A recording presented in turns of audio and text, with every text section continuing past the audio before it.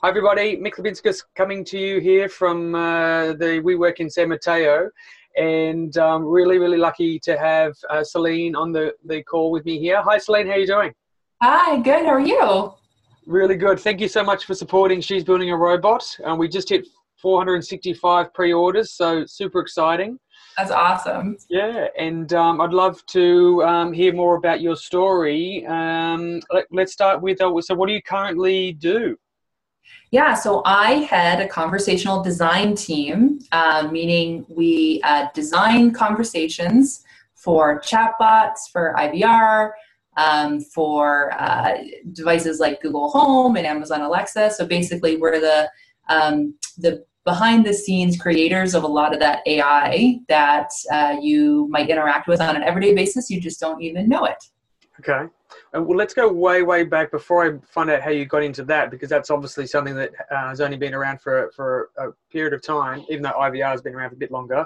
Can you tell us about your um, one of your very first interactions with with technology and computers, uh, and and what was the instigator? Was it a teacher, a friend, a parent? How did you how did you get excited about tech? That's a great question. Yeah, my my dad is the um, instigator, I guess, of my love of technology. He um, always had a computer in the house, was a Tetris addict back in the day. Really? How, how, how, bad? Was it like um, he'd sneak away to do Tetris and, you know? Yeah, yeah, playing Tetris during dinner. My mom would always yell at him, get off the computer. So, yeah, definitely. He's always been a very techno technophile. Okay. Um, yeah, so definitely, yeah, got got me always exposed to a computer back in the day. I always, I think I always had a computer in the house or something like a computer. Um, yeah, I just really um, loved technology and got me to love technology, I guess, by proxy of him.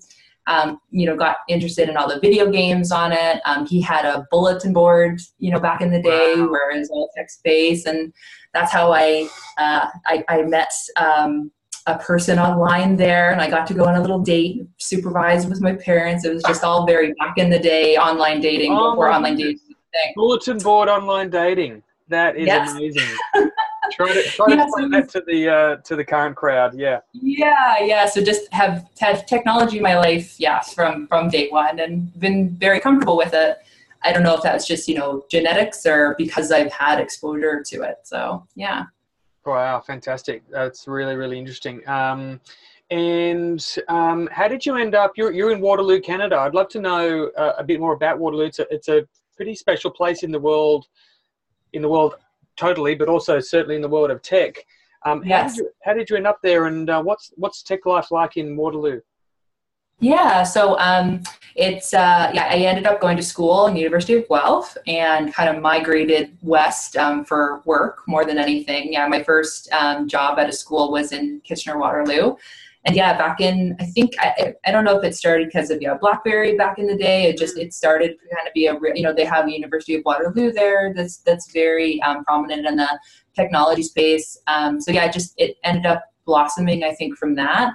Um, and now there's tons and tons of startups there. I mean, it's just you can probably yeah I don't know can't count you know, probably over i don't know 300 400 startups probably is my guess of all these different companies um, the company that I started with was a startup. Only I think when I started, it was like 10 people, you know, starting there. So it was a very small company. Yep. So lots of opportunity, lots of people flock here because of the uh, university. So yeah, just a really good, yeah, like you said, a hot spot for for tech. I think is one of the first places in along a lot of the cities that had free Wi-Fi. Just as you walk down the street, you could get free Wi-Fi. So yeah. Yeah, that's great.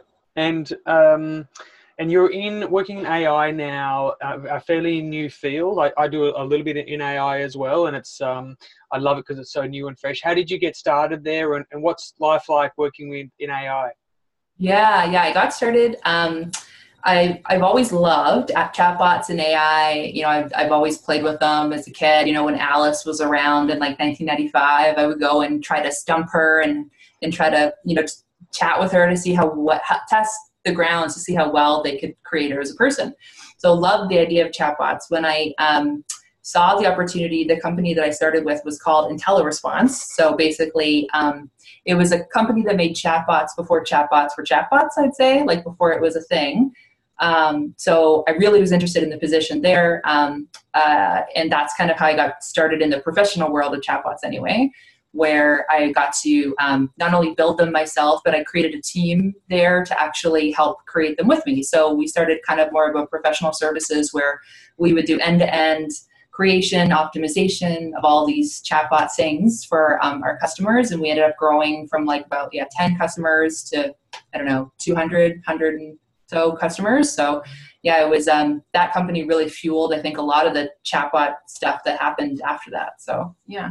Interesting. And so you mentioned that you, um, you manage a team now. Um, can you talk to us about um, the difference of uh, working with technology versus working with people? Yeah, that's very interesting. They both, uh, I would say, people are generally much better at doing when you ask them to do something, they'll generally do it versus technology does not. It's uh, technology can be challenging, lots of bugs, lots of issues. But um, yeah, it's interesting. Yeah, working with people is um, and it's funny because as you're building chatbots you're trying to create something that is like a person. So you're tr- always trying to see you know how people work how people think. Is that how chatbots should work and how people and chatbots should think and trying to kind of compare the two. But yeah, yeah definitely working with people is it's still because the, there is a disparity there. They are still very different things. So it's yeah. there is a line. But one day there may not be. You never know. There might be um, you might be harder to tell if you're working for a person and working for a chatbot. So yeah, yeah. Do you, uh, do you have an opinion on that in terms of uh, the future of AI? Is it uh, going to get to the singularity, or are, are, we getting to a point where almost everything will be done and, and life's going to be very, very different, or do you think it's going to take a long time and humans will still have lots of work to do? Yeah, it's a great question. There's there's a lot. You know, we're in so so close to having um, chatbots do a lot for us. You know, I think to do some of the complex things, we're a long way away. You know, just if you if you go back and look at your last Amazon conversation, if you chatted somebody on Amazon, my package was late. I just did it the other day, and just the back and forth of refunding this and refunding this, and give me a percentage refund of this, and reordering all this stuff. It's just to think about it as a designer. It's very complex to to map all that out. Sure. We might be able to do it, but um, the nuance is still in conversation. It's still I think that those little things that you're always going to need a human for until we can, you know, really emulate that.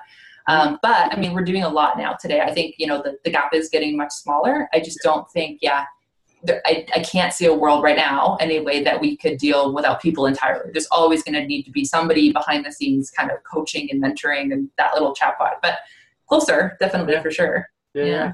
Interesting. And if there's uh, teenage girls out there, maybe who've, who've read the book and are thinking about a career in technology, do you have any advice of approach or getting started or things they can think about uh, to maybe help them uh, help them along?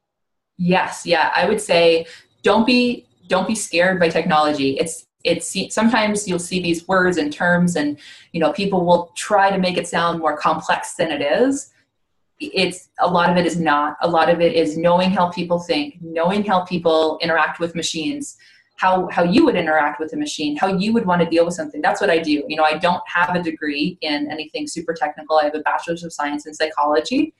Um, it, that has fueled me to love how people think and how people interact with machines and playing with machines to learn that. That's all i really have done.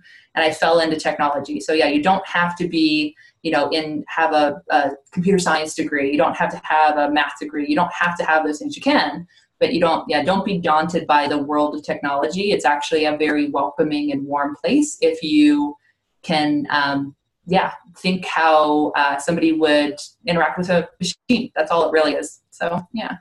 Fantastic. Well that's great. And thank you so much for sharing your story. Um, my goal with these interviews is to show that there are uh, real women, not not in a fiction novel, real women who have amazing careers in technology, uh, and they don't all wear lab coats and um, um, and uh, aren't so socially awkward that they can't get on a on a, on a video call. So, uh, so wonderful for you to to share your story. I really really appreciate that, and uh, best of luck with the, the rest of your work. And um, I'll, I'll, be posting this up on the Medium blog post for She's Building a Robot. And uh, again, thank you so much for your support. Great. Well, thank you. I think you what you're doing is awesome, and I'm so excited to read it. I think that's a great idea you had. Well, now with so many so many sales, I now have to. I'm, i feel the pressure of making sure the book is really really good. So I, I, it's going to be a, a, point of a bit of a rewrite. So I love the feedback. So, but thank you very much. We'll uh, hopefully talk to you soon. Yeah, great. Thanks so much.